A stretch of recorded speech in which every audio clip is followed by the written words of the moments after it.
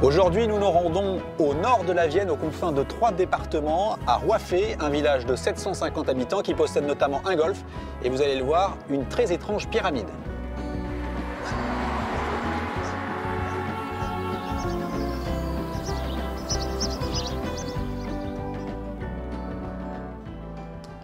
Bonjour. Bonjour madame. Ça serait bien. Je pourrais avoir un café allongé s'il vous plaît? Oui, pas de souci. Il est superbe votre établissement là. Ouais, bah, c'est un petit bar de campagne. Hein. Non mais justement, il n'y en a plus beaucoup. hein. Il y en avait un à Non. Mont-sur-Gaine avant. Euh, oui, Il y avait la station-service aussi à Mont-sur-Gaine. oui, mais qui est fermé aussi. Eh oui. Et vous, vous avez la station-service à côté? Oui. Incroyable. Ouais, pas de. Ah, ça fait pain aussi Je fais un dépôt de pain. Oh bah dis donc. On n'a plus de boulangerie dans le bourg, donc euh, le choix de pain et de baguette. Oui, c'est ça, pour aujourd'hui. Hop. Oh, c'est formidable ça. c'est formidable. Messieurs, dames. Au revoir madame, bonne On est journée. obligé de cumuler plusieurs trucs dans le, dans le même commerce pour arriver. à... Non, la boulangerie, elle est fermée il y a trois ans.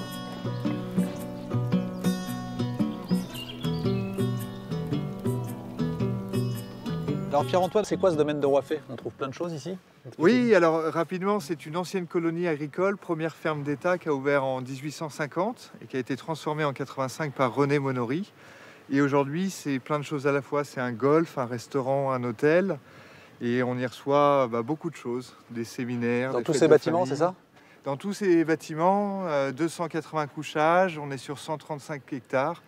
On est en pleine nature avec une architecture bah, typique euh, du nord de la Vienne et du Val-de-Loire, la pierre de tuffeau et l'ardoise. Et le golf, évidemment, c'est la vitrine. Vous nous montrez? Allez, on, On va va au golf.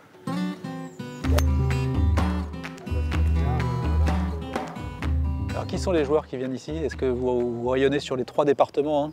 Oui, tout à fait. Alors, on a une clientèle euh, locale, hein, donc qui euh, vient principalement de Saumur, Chinon et Loudun.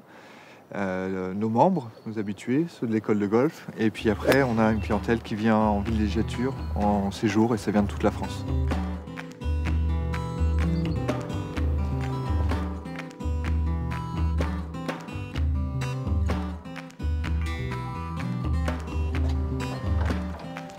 Messieurs, dames, bonjour.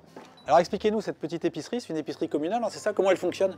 Euh, par rapport à la mairie, donc on a des articles locaux et, euh, et puis des articles de casino aussi. Et vous, vous êtes employé de la, de la mairie Oui, c'est ça, employé communal, ouais. Alors, des articles locaux, vous pouvez nous montrer Qu'est-ce que vous avez par exemple? Alors, euh, on va avoir le miel qui est là-bas, Ouais.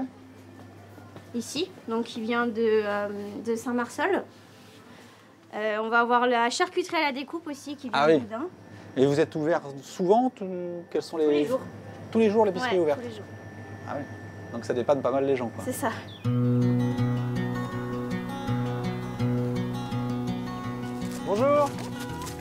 Vous allez bien Très bien, merci.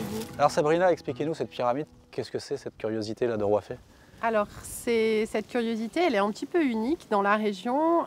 Elle matérialise euh, la frontière entre trois régions. Donc, la région euh, Poitou-Charentes, région euh, Centre-Val de Loire et la région Pays de la Loire. Elle matérialise aussi euh, trois départements, donc le département du Maine-et-Loire, le département de la Vienne et le département de l'Indre-et-Loire. Vous faites le tour de la pyramide et vous changez de trois régions, trois départements et trois communes en même temps. Vous avez un centre équestre à Roiffé et donc parmi tout ce que vous faites, c'est les randonnées, hein, c'est ça les balades Tout à fait. Nous, on profite de nos randonnées et de nos balades touristiques pour emmener les gens dans le secteur, pour leur faire découvrir la pyramide qui est malgré tout pas connue du tout. Euh, les gens sont souvent étonnés quand ils arrivent ici.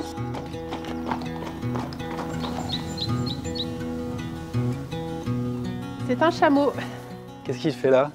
Alors, il tient compagnie aux poulains et aux poulinières, notamment, ou aux vieux chevaux qu'on a en retraite. Euh, c'est un petit chameau qu'on a récupéré qui d'un cirque. Euh, donc du coup, ben, euh, on l'a mis avec les chevaux et ça se passe vraiment super bien. On est vraiment très copains avec les chevaux. Allez, hop, debout. Non. C'est pas ça que je voulais. Voilà. Ah, t'es beau, t'es magnifique. Tu fais sapin de Noël comme ça.